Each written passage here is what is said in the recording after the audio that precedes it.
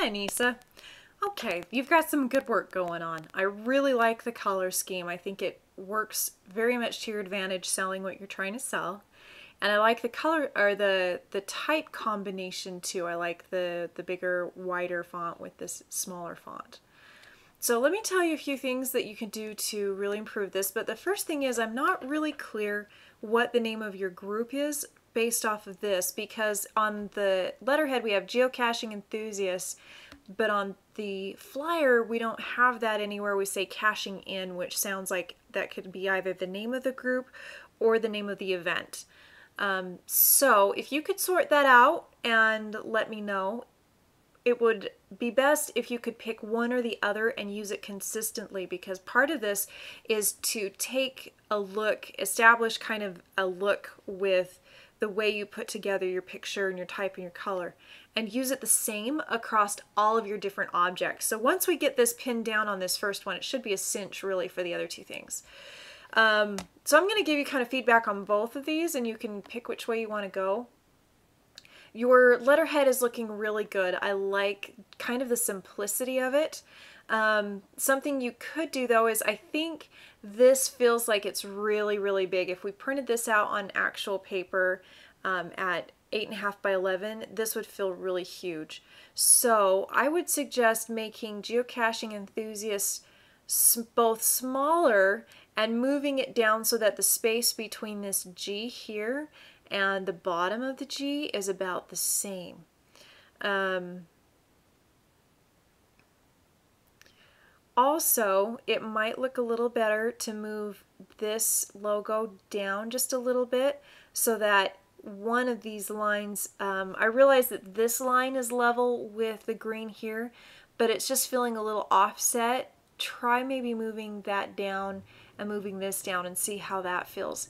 Once you shrink this top bit down a little bit, it feels it will feel like the introduction to the letter because it's on the top left where right now it's really across the entire top. Um, you could also make this contact information part of the brown bar. I think that would help really streamline this letterhead. So you could make the bar a little bit taller and then move this contact information down in it and maybe turn the type to white. Definitely don't leave it black on top of that brown. Um, and check the size of this type. For contact information, about a 10 is really good. It does not need to be 12 or larger. Um, and if it's a 10 size, try, um, here I'm thinking,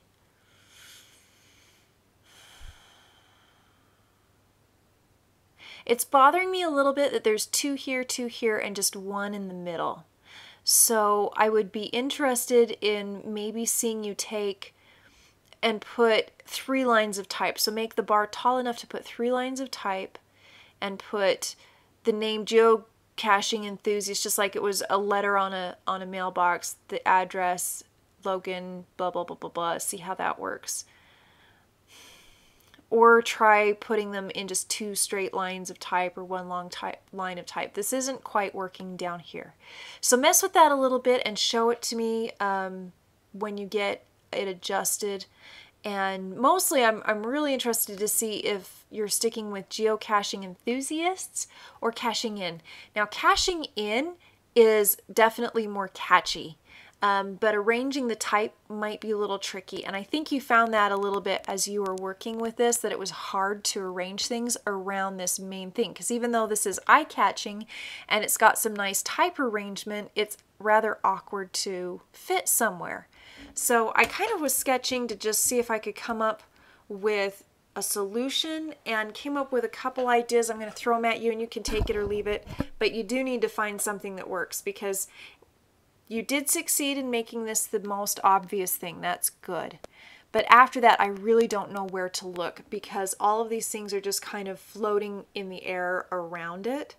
Um, I think if you moved this as it is up to the right top hand corner and then maybe the list of the activities down this side and try playing with them center aligned left, right align. Try some different alignment to see what works. Sometimes when we get too many things that are center aligned, it looks really cluttery. Um, so once you've moved this up here, try putting the kind of adventures of the day here and then the day and time information much larger across the bottom and uh, maybe even tuck this in the square in here. I'm not quite sure how that'll look. A QR code also, by the way, can be really small. So it doesn't have to be, this looks like it's about an inch and a half by an inch and a half. It could actually be quite small.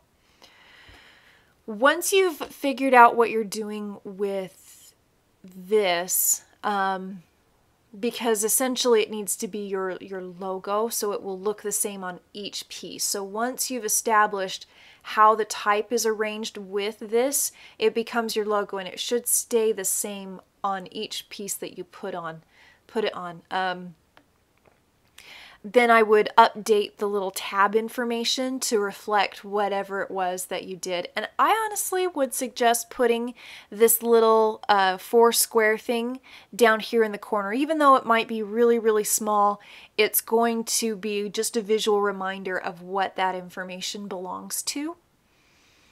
Okay, I hope that wasn't too confusing. So I'm going to just kind of quickly sketch what I said. And I'm going to apologize because at work I use this Wacom that has a really nice rubber surface on the pen. And uh, here at home I don't have a really nice one like that, so my pen slips a little bit. But anyway, um, so if you have caching in up here, and I'm only saying that because it shares a line here I honestly would just try rearranging how these go because it's going to be hard to butt things up against against it and have it flow in a logical order.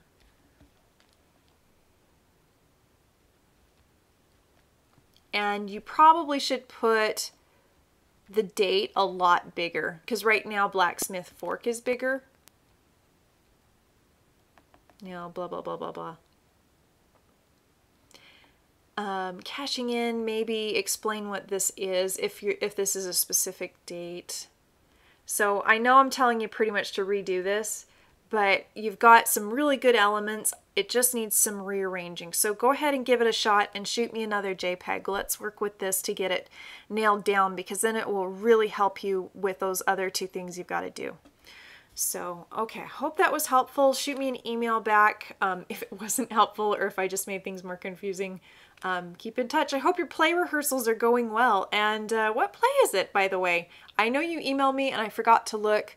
I did mark that, but I'll, I'll take a look at that information. I hope things are going well. All right, bye-bye.